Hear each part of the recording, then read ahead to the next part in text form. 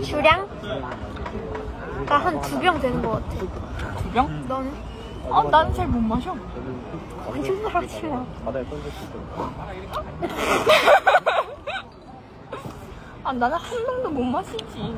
1박 2일 저랑 희지랑 좀 같은 방 쓰고 어, 7번이야? 정윤이랑 평석이는 지금 토트넘 축구 보고 있어가지고 바쁩니다. 오늘 뭐 개막식이라고 그니까.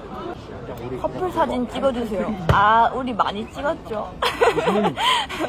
소장 써. MBTI. ISFP. E ENFJ입니다. 종이는 ISTP 평소에는 서가, MBTI 평석이 제일 아닌데. ISFP. ISFP 어, 나랑 똑같네 모두의 얼굴을 보고 싶다 리찰리스.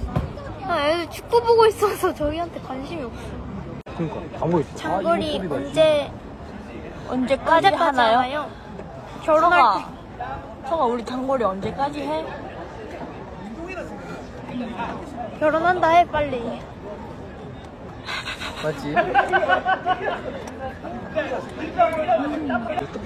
희진님 경상도 샷, 사투리가 늦었어요 네. 제가 원래 그 시사회.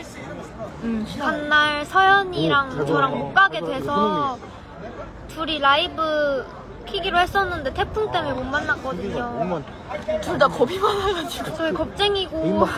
태풍 때문에 휩쓸려 날아갈까 못했는데 아니, 제가 연락을. 내려왔어 지금. 그래. 왼쪽이냐? 희지가 멋